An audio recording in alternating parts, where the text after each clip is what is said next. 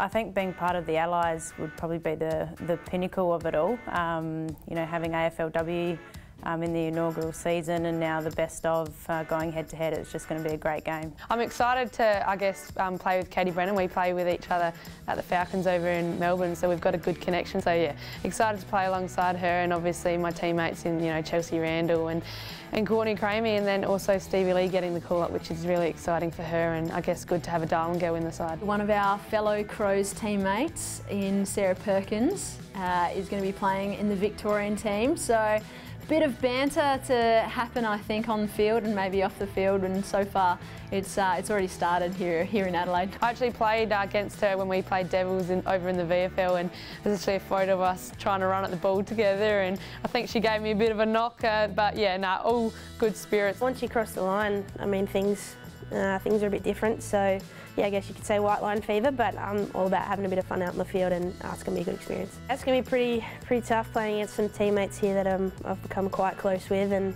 um, yeah, we've already thrown around a bit of banter and, and, enjoyed a bit of fun. I can't wait to come, come up against Perko. I've heard that Chelsea Randall's lining up on her and that's uh, going to be good to see. I'm not exactly sure who's going to line up on her, but hopefully between uh, CJ and myself we might uh, maybe have a bit of double team action just to give her a bit of love bump on the on the field. I'd prefer not to play against Chelsea Randall or um, CJ.